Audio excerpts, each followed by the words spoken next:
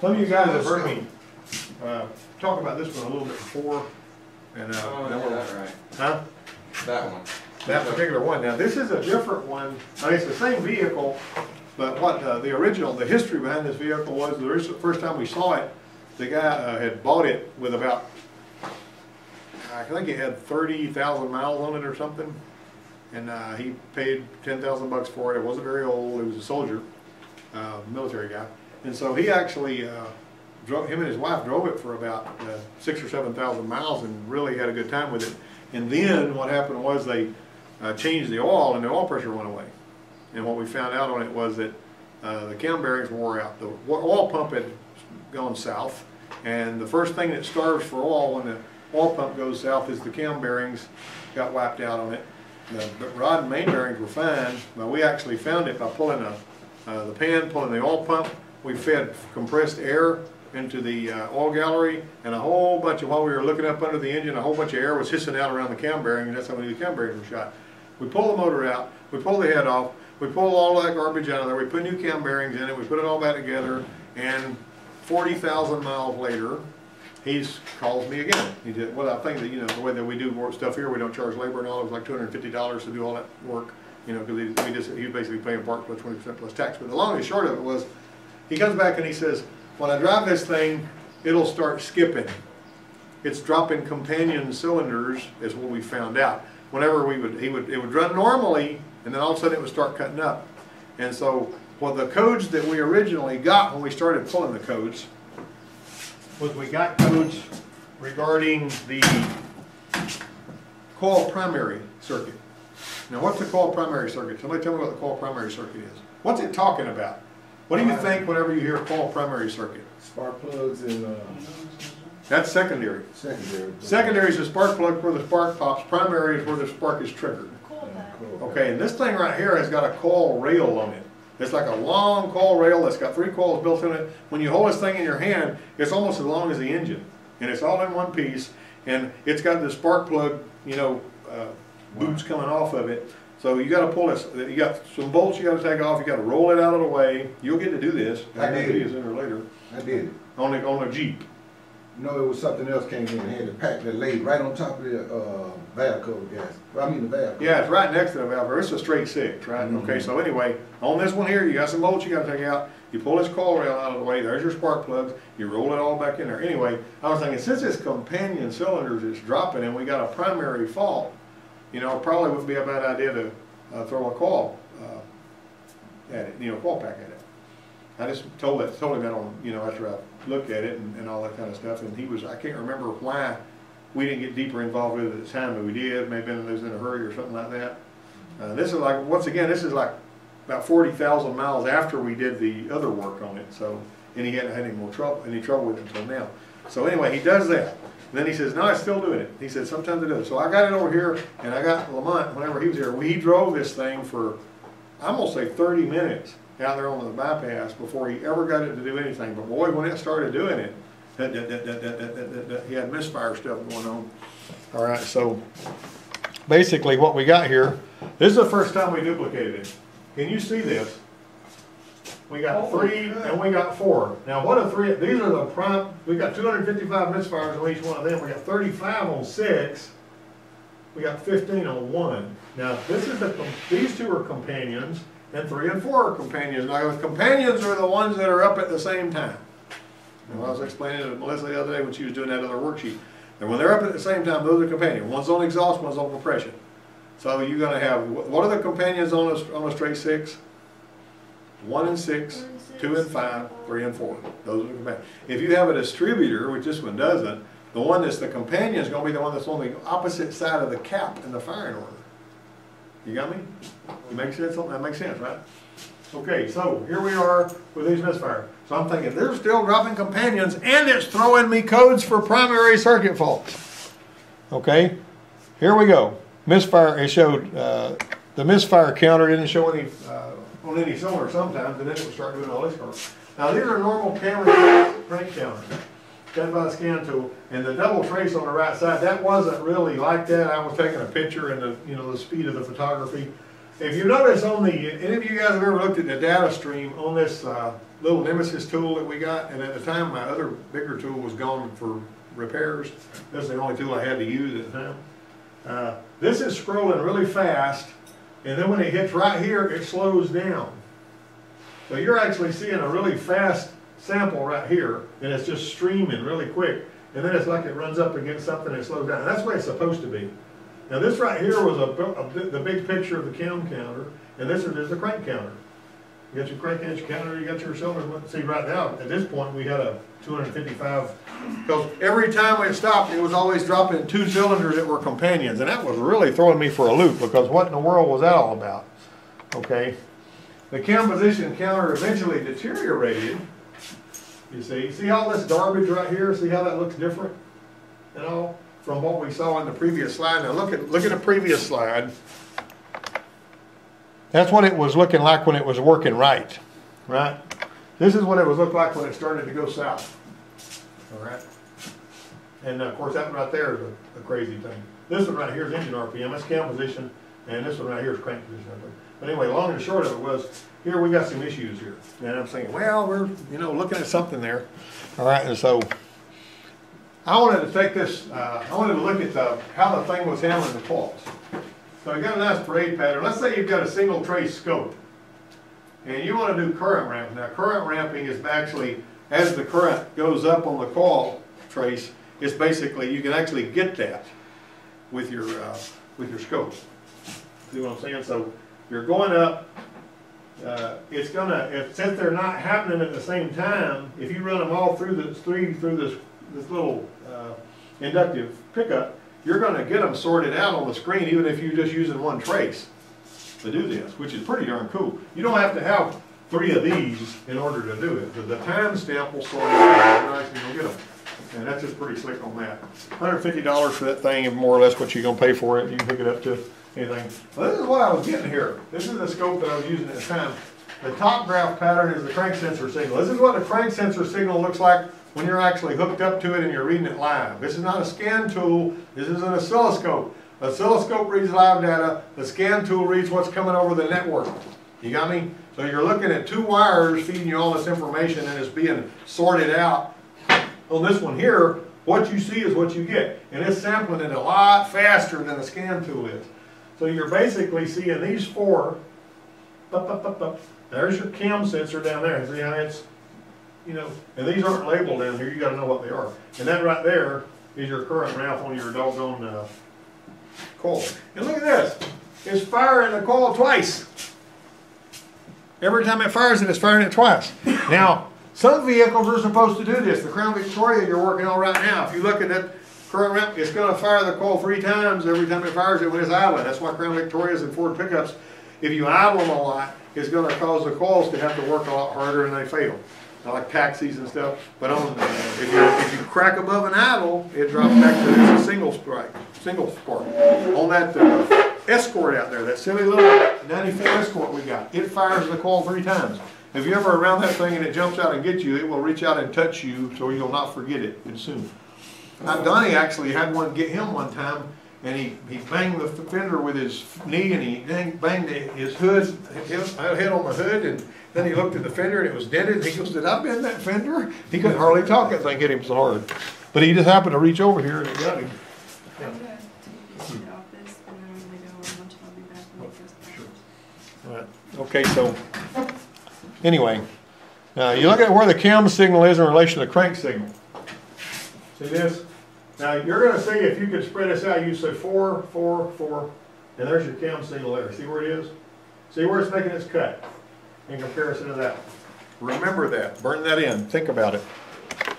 All right, this was the, the tops pattern, the way it was looking when the problem was present.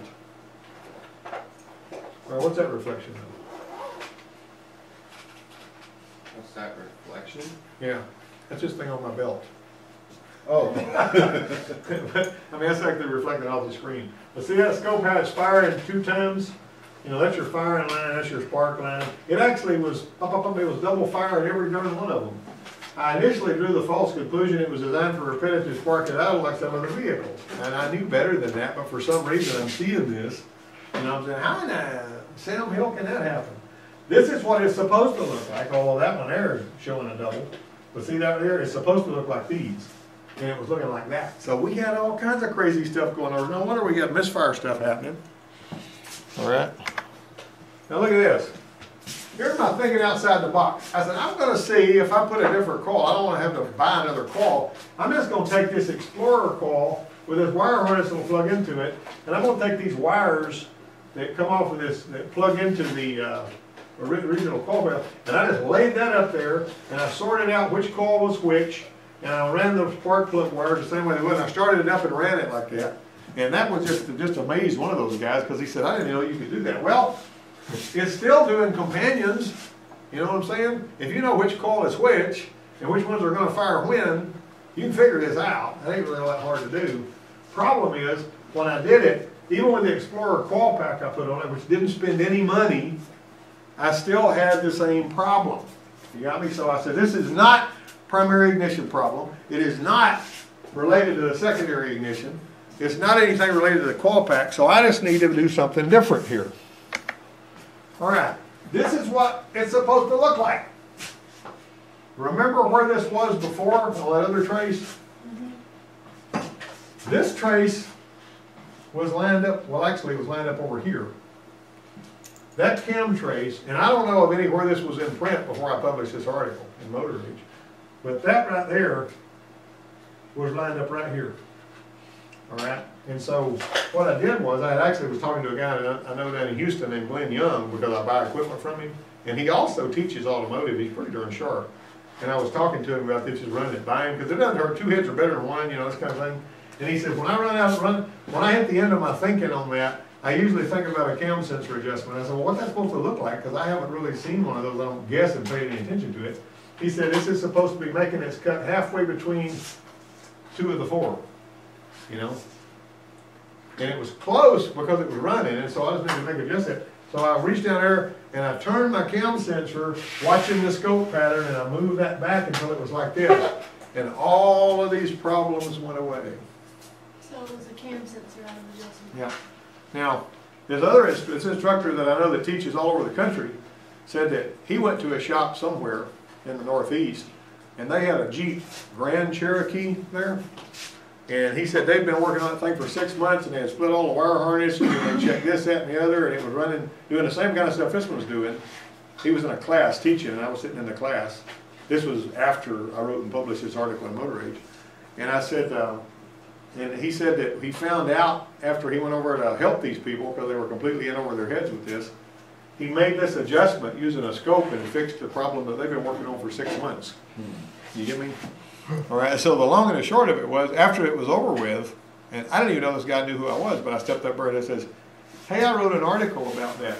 And he goes, I know, I read your article. Which I thought was pretty funny, you know. Now, he, he probably already knew this before he read my article, but whatever happened, you know, everybody puts your head together and makes things better. You got me? That's the long and short of it. Okay, so I'm gonna show you another picture here. The reason I call this thing scan tools, oscopes, and toothpicks, whenever you're working on a Cherokee or a Grand Cherokee and you want to eliminate one possible cause of this strange drivability complaint, it doesn't cost anything really to put the crank on zero TDC. You gotta look down there, it's kinda hard to see, but they got a place, a little notch, and a little place on the, you know, the little uh, cut on the balancer where you can line that up. You gotta make sure you're on top dead center compression cylinder number one. Does everybody in here know how to do that? Yes.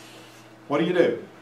You turn it to, uh, put the, put the crank on, top dead center on the zero, but ensure that you're on compression on cylinder one. How do you, not on how do you know you're on compression on instead of exhaust? Take out the spark plugs on cylinder one, and stick your finger in it, and while you're turning it, go.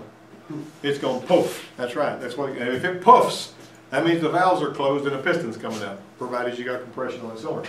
You let it puff, you go ahead and turn it on around until you get that thing perfectly lined up on number one. Now it's got, there's only one notch. You don't have a bunch of, you don't have a rooster comb on this one. You got one notch and you got a notch on the balancer that lines up with it. When that's lined up, after it puffs your finger on one, you're on there. And then, this is your cam synchronizer with that little fifty percent main on it. You notice there's a hole drilled in here already, and there's a hole drilled in there. And you're gonna adjust this thing so that you can stick something straight through all of those holes. Now, the strange thing was, after I adjusted this using the oscilloscope, I take this thing, I put it on top dead center, and I can stick that right through there. And you know what my conclusion was? I did all of this work, I worked on this thing for a week, and I could have fixed it with a toothpick. They got me scanned to oscilloscope, and whenever I wrote this and I published it, there was a guy named Mac Van, uh, uh. He's actually the, uh, a scope guru. And he sent me a copy of his, one of his little uh, scope classes, and in an envelope with a little letter, and in the envelope was a toothpick that was wrapped in cellophane, which I thought was pretty cool. But anyway, that was a, this was a real uh, wild ride, I'm telling you. All right, I'll show you another thing. So make your notes, you know, you're gonna turn your notes in on that, that's the end of that slideshow. I'll show you something else. All right, we're gonna look at some graphs here, because this is really important that you know how to interpret this stuff. All right, you see these graphs right here? Go to these graphs here. All right, I've got some graphs here that I'm gonna look at, right? All right, see this right here, we got, this is this little uh, launch C recorder. We got a data plot.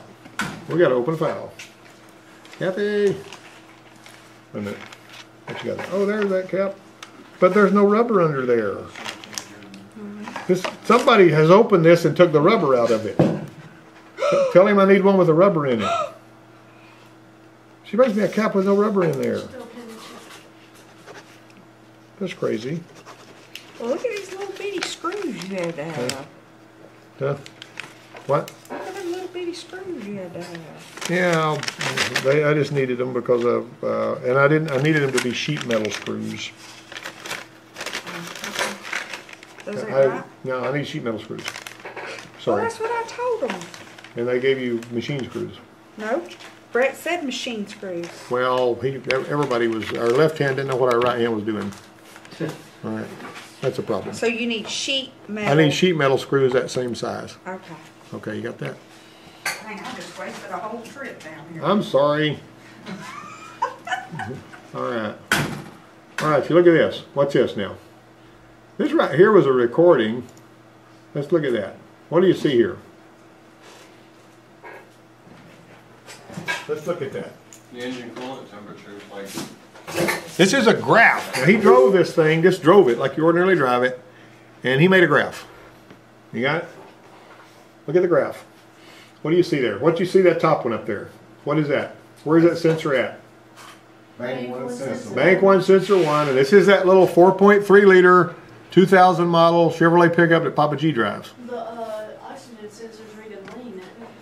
Well, no, it's actually up and down. It's like it's supposed to be. It's just fine. Nothing wrong with that. Minimum is, Because it's so it gives you your minimum and your maximum. Minimum is see real close to zero, and maximum is 0.94. So that is a nice little switching range. Engine coolant temperature is what? Minimum. See, you're getting minimum and maximum and current. Ain't that great? Minimum, maximum, current. Okay. Now this is actually. Uh, temperature's got a degree. yeah, so right here we got absolute throttle position. This is where he was working his throttle as he was driving along, you know. And up here is going to tell you when this happened, right? And out at 226 frames, it was a fairly decent little recording. I'm going to go, go down here. What else we got? Calculated load, oxygen sensor output voltage, bank one, sensor one. All right, engine coolant temperature sensor right there. Let's come on down here. We got right here absolute throttle position. Come on. All right. What do you see there? Short fuel trim. What's that look like to you? We're ranging from minus 1328 to 9.38. And right now we're at 1.56, which is close to zero.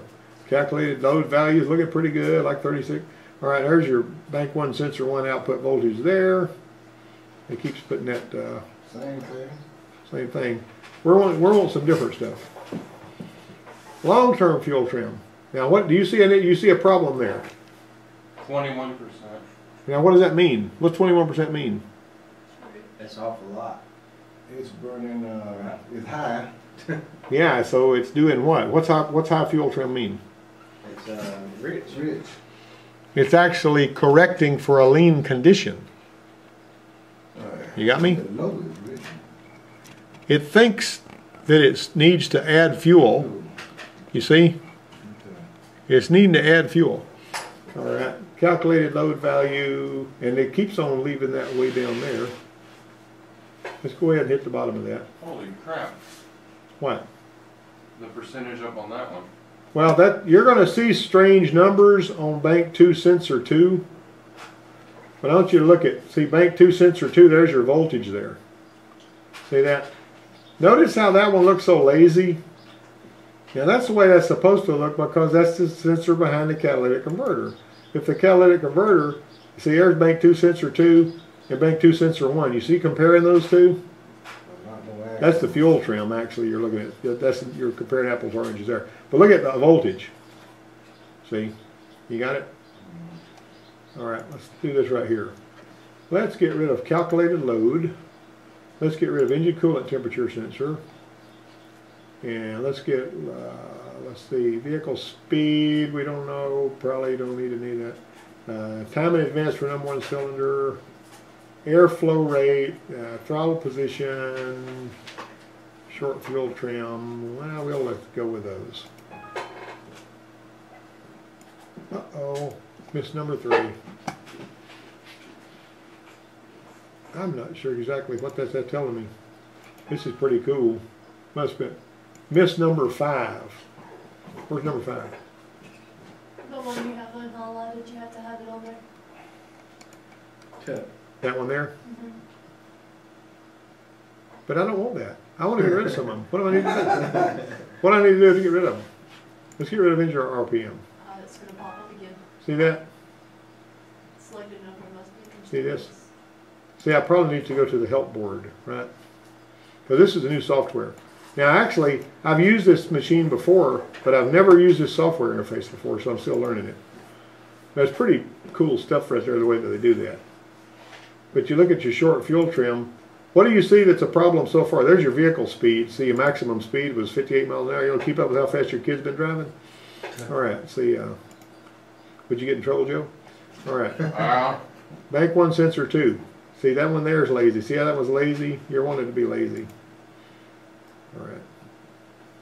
Now then, we'll look at a different one. Let's look at this one here. What do you think he was doing there?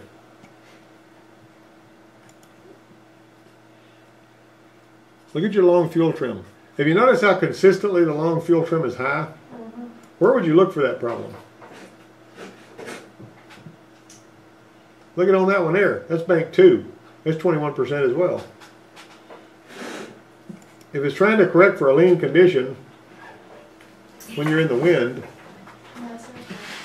now he's bucking and jerking too. You got me? We'll have a look at that Monday. Keep looking at them. Although, let's go to the bottom. What do you see there? Bank two sensor one, short fuel trim. See this? The long fuel trim goes goes way out of balance, so these will balance. Short fuel trim is going to balance in response to what that's doing there. All right, let me look at another one here. Let's look at another one that's got some more frames. All right, now what do we know about this? What can you see there?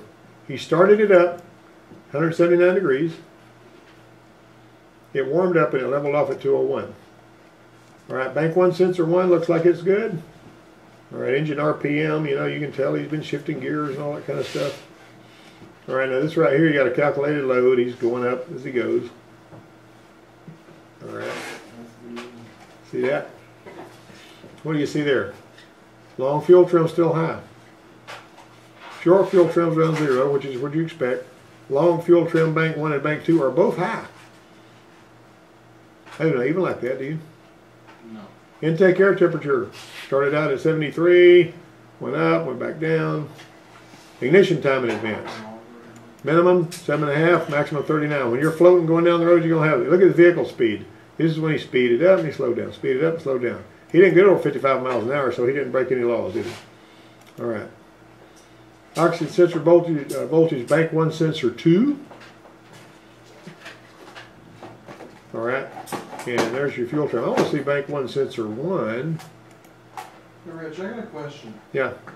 On that speed thing, is that like direct, Was that like stay like max speed you've ever gone, or is that? On like- this trip, Oh, that's true. in between trips, yeah, Okay. and all that. I mean, I guarantee you it's going faster than that.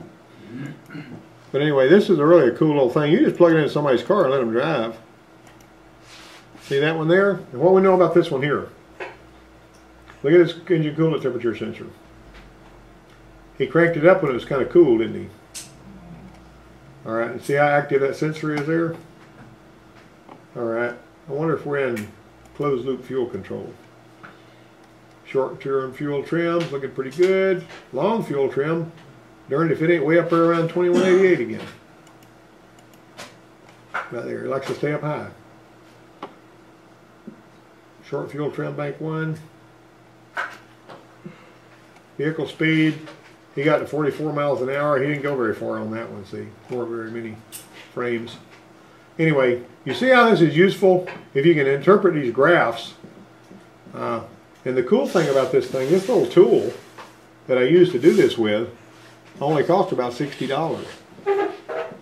But now all it will measure is OBD2 stuff. And you can buy one on Amazon. It'll save you money on progressive insurance. Yeah. See that? All right, that's already hit the bottom there. Oxygen sensor bank two, sensor one, that's, that's the other bank, you know, the sensor one bank. Now I gotta figure out how to sort all these things out and all that otherwise, you know. You can actually, I can actually take this right here and drag it over here and it'll give me what's going on right there at that point, you see? See the little reading that I get? If I wanna see what the reading was at a particular point. And, you know, then you got a horizontal one there too. But anyway, the long and short of it is, uh, this was a bunch of uh, frames. Papa G's trucks bucking and jerking and cutting up. That's one of the reasons I just stuck this thing on there. I haven't seen anything conclusive on here, but what comes to mind on this, guys? What are you thinking about? What does that particular truck and that particular kind of fuel injection have that other vehicles don't have? Um, What about it? Moody? What are we talking about? Me and you. Me and you worked on the one whenever me and you were the only ones here the other day. But I don't know what truck. Bad weather day, huh? jeans. Hmm? That was the same kind of truck. Oh. Same engine, same truck, same everything. What did I show you on the scan tool? What did I show you that I said I didn't like the looks of? Oh, uh, I remember, but I don't. You remember, but you don't. Okay. He doesn't come to the same, do you remember? Yeah, I remember you- this, this situation, but I don't remember what it was. Okay, remember when you worked on my dad's truck? And you put a distributor in it?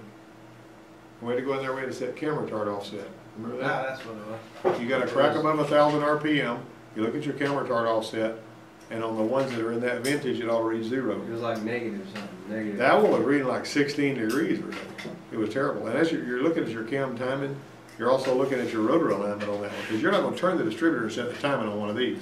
You know why? It's got a crank sensor. If it's got a crank sensor, you're not gonna set the timing by changing the distributor, you're just gonna change rotor alignment.